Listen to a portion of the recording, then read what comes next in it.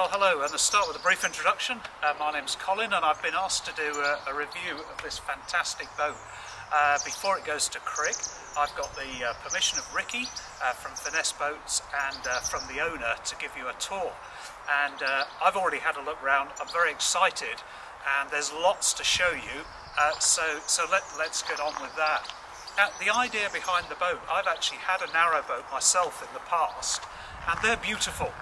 And, but we'd always wanted extra space and we've looked at wide beams but we haven't always found those beautiful. And the idea of this boat is to change the world with that. As you can see it's got a bit of a look of a, a sunseeker, Ricky calls it a wide beam yacht and uh, the idea is loads of internal room. I'll show you around the decks in a minute uh, but these handrails go down, the covers go down so you can still take it out uh, on the canal. I've been finding it hard to know. I said to Ricky, I'm not sure what my favourite bit of the boat is. Um, but one of the things is definitely at the back. And I'm pretty sure you won't have seen anything like this because I certainly haven't. And this is with the stern down. And uh, you can see this huge deck space. It's just fantastic. And later on, we'll show you with the hydraulics how it comes up into play uh, when you want to sail the boat. I'll bring you down to the, uh, the driving position. This is the bit that most of the, uh, the guys would be interested in. I'll hop on the boat and the camera will come a little closer to see you. You can see we've got a, a cover all the way round. So at the moment it's just kind of like a bimini sunshade. If we were going through uh, bridges or canals, then of course the whole thing collapses. And if it was a windy, wet day, then the covers go round the boat and it becomes like a, an outside room with, uh, with covers. Uh, on the, uh, the driving position here, very high tech, it looks great. There's a radio console with um, uh, the, um, what's it called, this uh, sort of traffic collision system. So if you're on the French canals, you'd see that.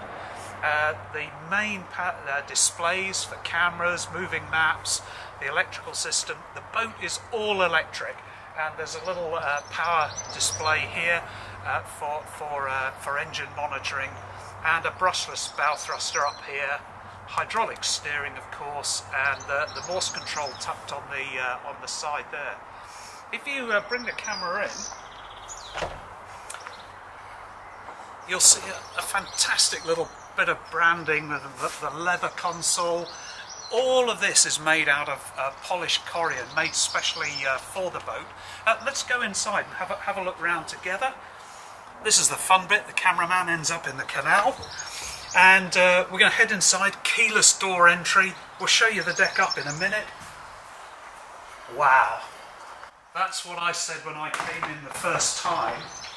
I just can't believe the amount of space. Glazed panels up here in the roof with uh, retractable blinds just in case there's too much sun.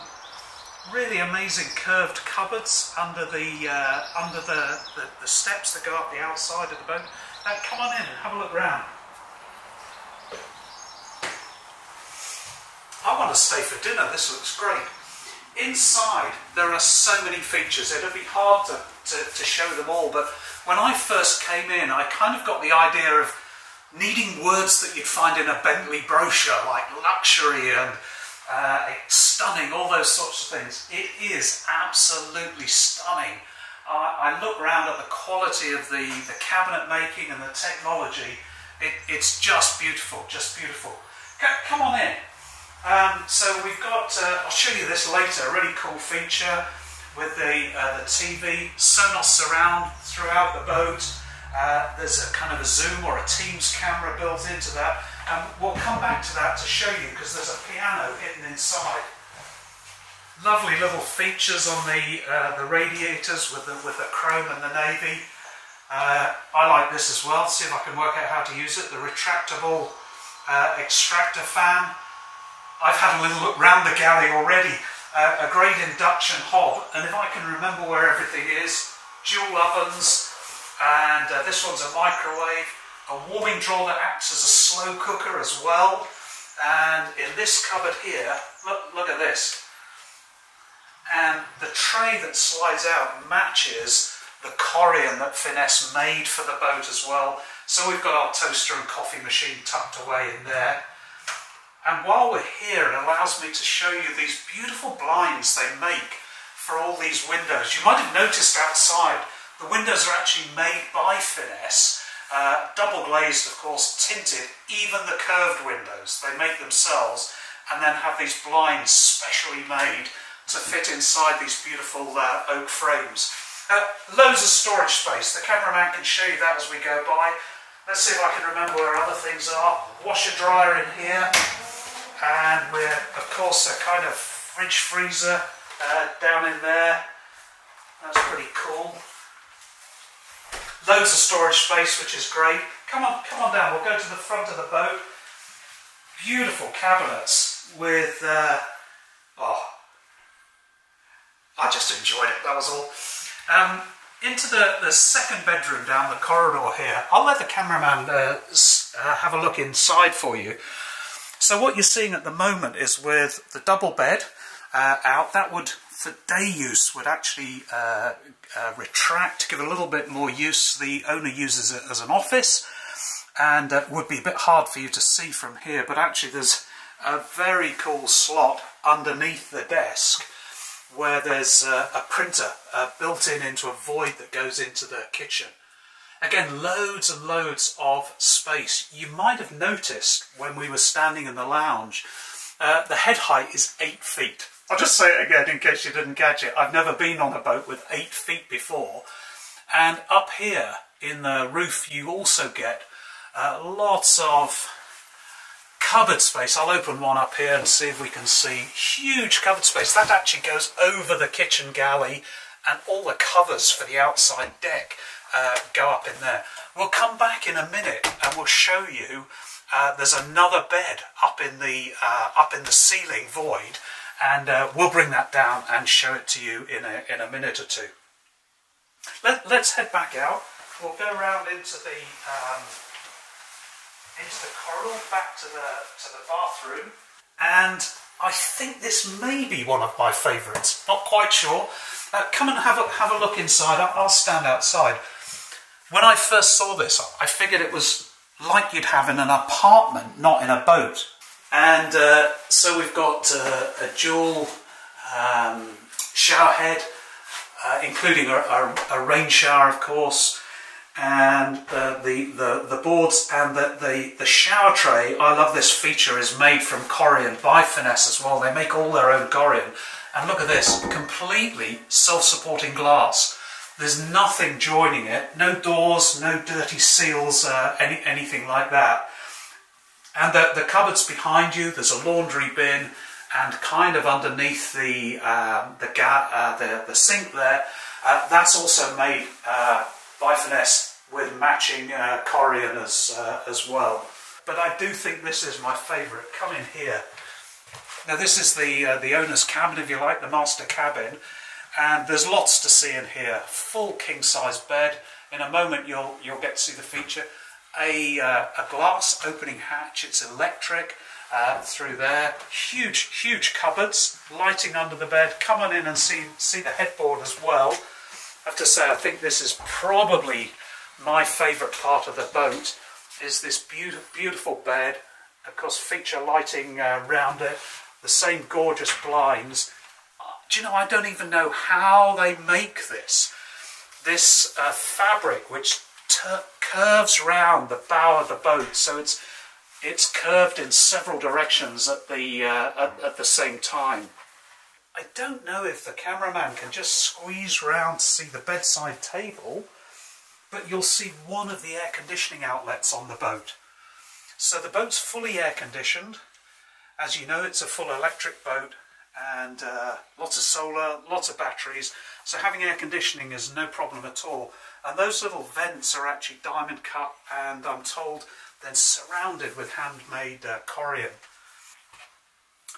Lovely little reading lights uh, around the bed, drawers underneath. What we're going to do is come back down the boat and we'll show you a few of the things that have moved uh, whilst we've been uh, exploring the front. So first off, here's the, the spare bed. And so the idea of that, the owner was particularly keen, not so much for a, a large family, but if two friends came, uh, then one can be upstairs, one can be downstairs. They don't have to uh, sleep together. Up above the bed, there's uh, places for powering your iPhone or your uh, phone chargers, uh, reading lights, all that sort of thing. As we come back out of the boat, uh, you'll see here the extractor has now gone. We've got the piano cabinet. Uh, we put a, uh, the owner puts a stool under there to, to play, and uh, and then when he's finished playing, it just folds away, which I can do. Folds away nice and easily, and then electric motor takes the TV back to the uh, to the to the ground position, as it were, for watching from uh, this uh, comfortable looking uh, sofa. Now you remember me saying, have you ever seen height like this? Look, I stretch, it's eight feet tall. And I used to always think boats were close down onto my head, but I've never seen space uh, like this. Lovely LED lighting around the, uh, the oak tracks. And uh, now as we come to the back, here's our keyless entry again. All the doors click into place on magnets. And that's the way to do indoor and outdoor dining, isn't it? Gosh, I'd love to sit here for dinner. And now you can see that the stern is up. And uh, come outside and check out the, uh, the area seated. The owner normally has a table here, but we, we wanted you to see the deck. Uh, but what a great place for, for sitting and enjoying uh, sailing or an evening of uh, sunshine like, uh, like this evening. And uh, if you can, cameraman, as we come by, just have a little glance down. Uh, it's a flexi-teak deck in teak and grey, but look at these beautiful features. Diamond cut, just to, just to cover a, a, a drain vent. Fantastic. Come on up onto the onto one of the walkways. Now the handrail, really clever, just like the cover at the back will go down the handrail collapses onto here when you're on a canal and you want to go under the bridges. And that's the really cool thing about being able to take a larger boat but still take it onto the inland waterways. As we come up you'll see the uh, solar panels, I'm trying to count them, I think it's 12, and uh, they're all split and controlled by uh, quad controllers, meaning that even if one panel is in the shade, the others will still work as efficiently as possible. So that was the glass down into the bedroom, but what an enormous front deck area. I think one of the best bits when I sailed the boat uh, with Ricky from, uh, from uh, Finesse Boats was you're, you're sailing in silence. And up here, it's absolutely silent and a place to sit. We can put extra chairs out and uh, have a drink, lie down, lie in the sun. Uh, what, what's not to like? What's not to like? And if we come back the other way around the deck, you'll, you'll come round in a loop. 5G Wi-Fi aerial fitted to the boat. Again, handrail that would collapse. And as we come down onto the uh, onto the main deck again, you get to see the uh, the glazing area that is over the dining room table. And back under the bimini shade, we're just opening up uh, the engine bay for you to have a look at. Now for those who aren't interested in technical stuff, you want to stay out on the front deck in the sunshine. But for the rest of us, uh, down here uh, there's a 30 kilowatt uh, dual electric motor uh, latch onto the word dual, so it's a two-engined boat, effectively, dual motor boat, run through a single, uh, single propeller. And uh, we've got the hydraulics for the stern. There's a 13.5 uh, uh, kilowatt genset, and we've got the quad controllers. Uh, I think it's a 15 kVA inverter, and the bit down here with the, the central heating boilers, all the usual sort of things. And there's even space for the owner who has two electric bikes uh, that drop into a cradle and get charged whilst they're, uh, whilst they're on the boat.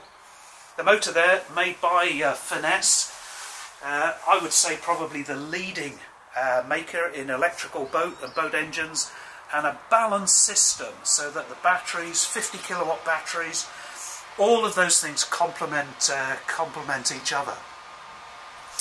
So as we come towards the, uh, the end of our tour, I would say thanks very much for watching. I hope you're as excited seeing it as I was. I felt it was a real privilege to see this boat before it went down to Crick. And, uh, and, and, our thanks, of course, to uh, Ricky and to Chris, uh, the leaders up here at Finesse Boats, for uh, giving us the privilege to look round this uh, elegant and, uh, and beautiful boat. Thank you.